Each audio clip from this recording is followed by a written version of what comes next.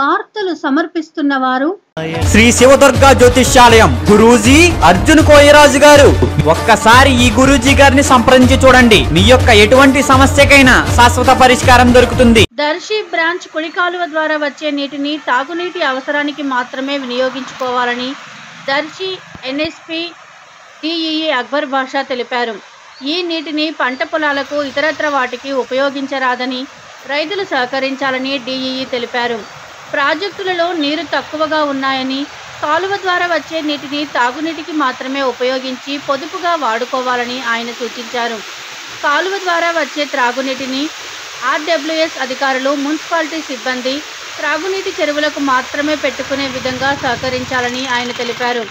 నాగార్జున కుడి కాలువ నుండి ఏడు టీఎంసీల నీటిని ఈ నెల ఏడవ తేదీన వదలడం జరిగిందని పదకొండవ తేదీ సాయంత్రం ప్రకాశం బార్డర్కు చేరాయని పదమూడవ తేదీ సాయంత్రం నాలుగు గంటల ముప్పై నిమిషాలకు మైలు వద్ద ఓబీసీకి చేరుకున్నాయని ఈ నీరు పది రోజులు మాత్రమే కాలువ ద్వారా వస్తాయని ఆయన తెలిపారు.